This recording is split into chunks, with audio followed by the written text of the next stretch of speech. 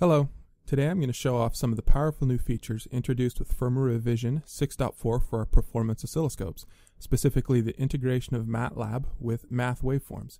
This feature gives the powerful computational and graphing capabilities that MATLAB offers fast access to waveform data provided by the oscilloscope. In order to use these features, you need one of the listed oscilloscope models with firmware revision 6.4 or newer, MATLAB with the instrument control toolbox needs to be installed on the oscilloscope, as well as any other toolboxes that your script will use. With the new firmware, there is a change to the Math Setup menu, which adds a drop-down box to load custom created functions as math waveforms. The question mark icon provides data about what these plugins are, and the file structure for where they're located. Some example scripts are provided with the firmware, including the waterfall plot we saw earlier, or a 10 to 96 MHz bandpass filter. For this exercise, I started with the filter script, but rather than hard coding what the filter type and critical frequencies were, I modified the script to read these values from a text file. For simplification, it will do high pass or low pass filters only, with one critical frequency listed.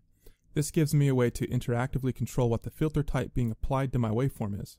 The script checks if the file is changed, and if it has, it creates a new filter based on the updated values. From here, I could use Notepad or any other text editor to modify the file and change my filter. However, I wanted to have access to the filter control from inside the TekScope utility.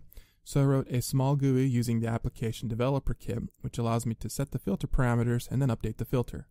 Now I'll apply a low pass filter at 1 MHz to our applied signal. The applied signal is a 1 MHz square wave. Looking at the FFT of the square wave, we know that it's constructed with odd harmonics. To show how the waveform would look if we start removing these harmonics, I change the critical frequency of my filter to several of these values. As the filter's parameters change, we see the resulting waveform update in the math waveform. Even though I'm using a short record length, you can see that the interaction between the MATLAB script and the math waveform is very fast. Thank you for watching this video. For more information about anything you've seen here, please contact us at tektronix.com slash support.